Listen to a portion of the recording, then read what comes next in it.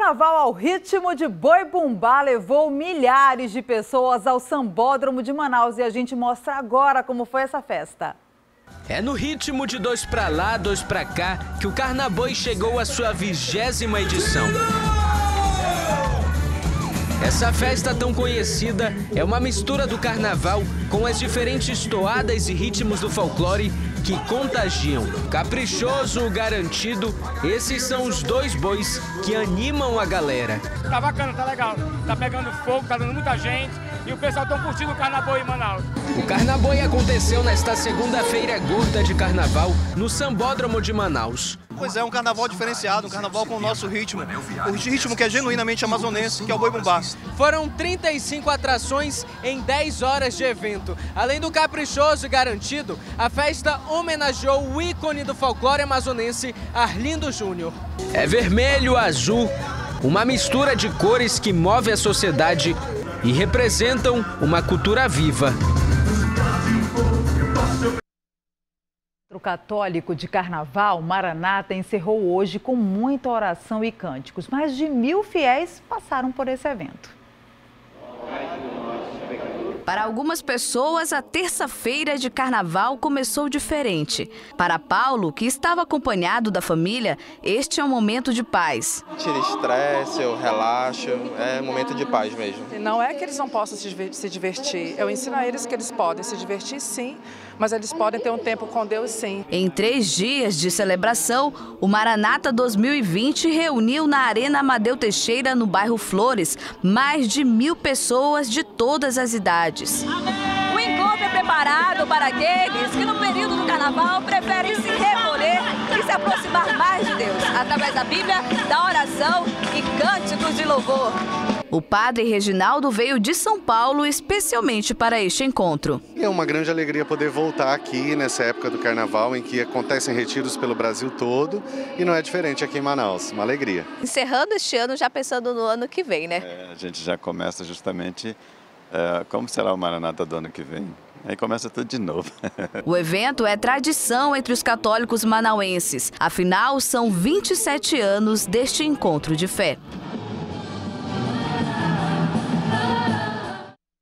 Olha, e do Carnaval Católico nós vamos agora para uma das bandas mais tradicionais de Manaus, lá no Sambódromo, a Banda do Galo. Eu vou falar ao vivo com a repórter Débora Martins, que já está por lá desde cedo, curtindo aí esse carnaval hoje, nessa terça-feira. Débora, boa noite para você.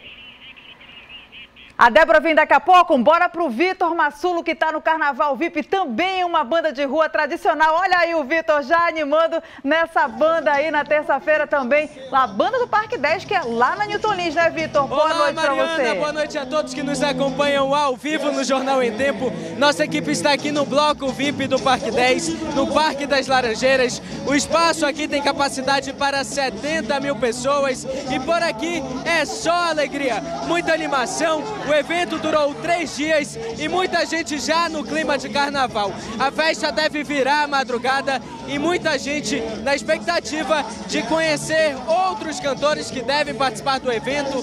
E é só alegria por aqui. Eu volto com você. Oi, Vitor, muito obrigada aí pela sua participação, curtindo aí o carnaval, coisa boa. Bora ver agora com a Débora Martins, lá no Sambódromo, na Banda do Galo, que esse ano homenageia Elba Ramalho. Boa noite, Débora.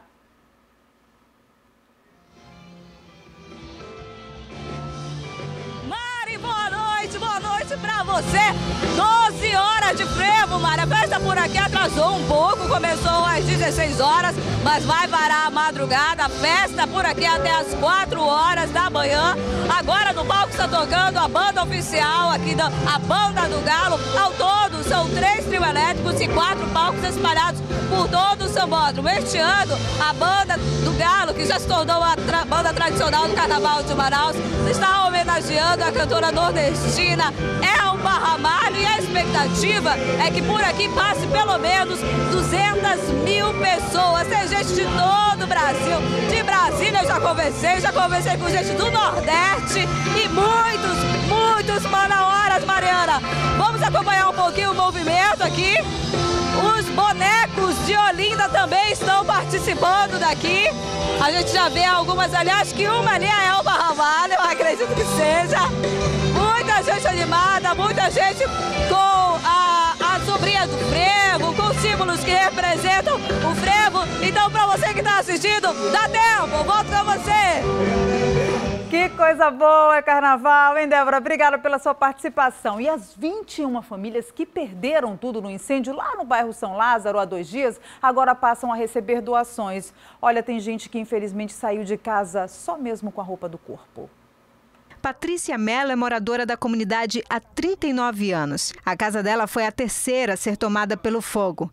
Ela diz não ser fácil olhar para onde um dia foi o lar dela. Imagina você trabalhar tanto tempo para construir, né? E você vê agora só pó e cinza, né, dessas coisas, né? É muito triste. Em meio a tanta dor, a solidariedade brota como uma esperança para quem perdeu o patrimônio mais valioso. Perdemos tudo, documento, roupa, né? Acabou com tudo que a gente tinha, né? Tem que pegar até a gente se ajeitar de novo. A distribuição das doações está sendo concentrada aqui nesta igreja evangélica que fica no Beco São José, bem atrás do Beco São Lucas, onde aconteceu toda a tragédia. Aqui dentro, uma força-tarefa foi montada para poder distribuir os donativos às vítimas. E a maioria dos voluntários são pessoas que também perderam suas casas no incêndio. A gente está concentrando tudo aqui, doações, o pessoal está doando, para a gente ajudar nossos irmãos aí, né, que perderam casa, alguns estão aí sem casa agora. Eu, particularmente, também tive algumas percas, né? mas a gente está tentando aí restituir aí, que a gente perdeu. Caso você queira doar algo, as famílias estão precisando de produtos de higiene, alimentos, roupas íntimas, colchão e eletrodomésticos. Os locais de arrecadação são a Igreja Bom Pastor, na Avenida Magalhães Barata, e na Igreja Evangélica Betânia 4, que fica no Beco São José, todas duas no bairro São Lázaro. Qualquer dúvida, você pode ligar para o número 98813 8194. Olha, é gravíssimo o estado de saúde do homem que foi retirado das ferragens de um caminhão que colidiu com outro na rodovia M070. Um homem morreu na hora e outros dois estão sendo atendidos em pronto-socorros. O repórter Marcelo Bezerra traz os detalhes desse acidente para gente.